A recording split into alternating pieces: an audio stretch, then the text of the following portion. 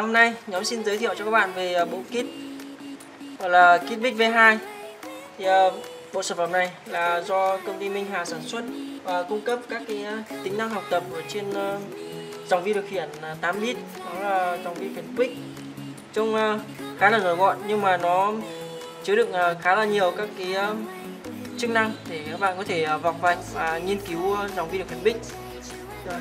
Thì, uh, bộ sản phẩm gồm các cái thành phần như sau. Thứ nhất là một bộ kit này. Thứ hai là một cái ờ, dây USB micro dùng để ờ, giao tiếp với máy tính hoặc là cấp nguồn. Một thạch anh 20mm và bốn cái răm để các bạn uh, lựa chọn các cái tính năng phù hợp. Rồi.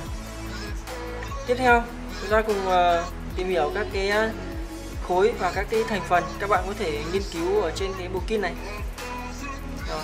đầu tiên là phần trung tâm thì uh, giống như cái bộ ờ, uh, Bigkit uh, ờ, V4 thì uh, bộ này cũng sử dụng uh, cái dòng điều khiển Big cụ thể là Big 16F 877A các bạn có thể thay thế dễ dàng bằng con 18F 4520 nó sử dụng socket mà.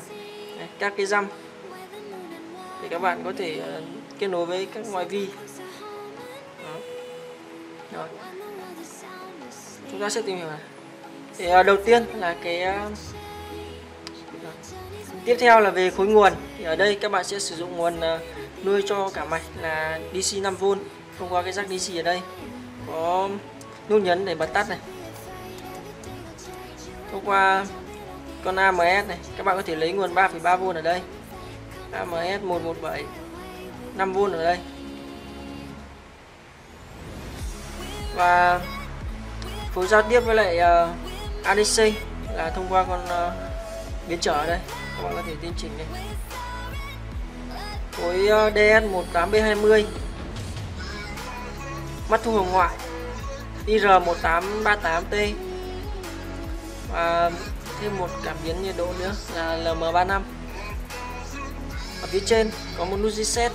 Để reset lại chương trình. Và bên cạnh là các phím key đơn từ key 1, key 2, key, key 4 Đấy.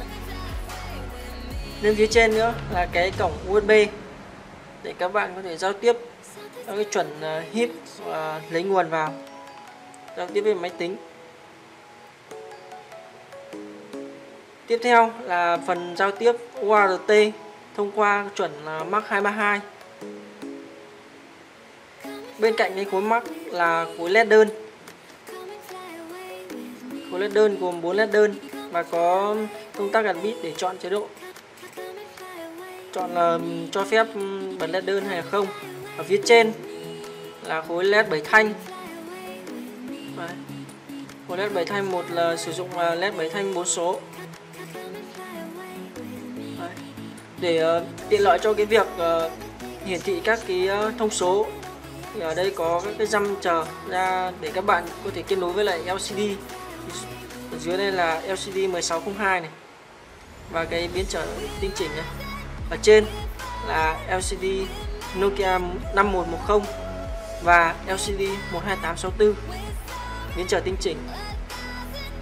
Rồi. sang phía bên đây. Bộ kit đã được tích hợp uh, ra các cái chân để giao tiếp với lại ờ, một số cái ờ, một số cái ờ, ở trên bộ kit cũng ra chân để tích hợp với một số cái module thông dụng. Ví dụ như là NRF ở đây. Cảm biến siêu âm RF SRF05 hoặc là SRF04 đây là chân cắm thạch anh này.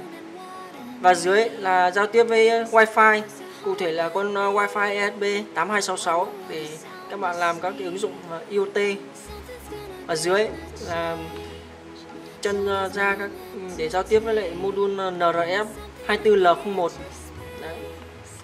và một cái không thể thiếu đó là các cái chân nạp. Thì có chân nạp thì các bạn ấy có thể nạp chương trình vào cho con pick ở đây. Thì các bạn có thể sử dụng uh, Big Kit. 2 hoặc là Bikit 3 thông qua cái cái răm ở đây.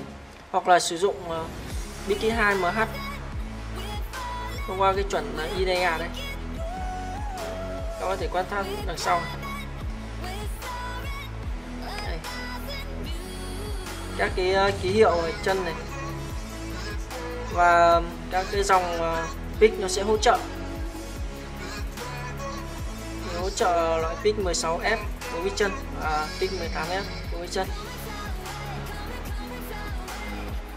Thì, à, trên đây mình vừa giới thiệu cho các bạn về cái bộ kit à, dành cho học học tập và nghiên cứu đó là kit Big V2 thì à, cảm ơn các bạn đã chú ý theo dõi.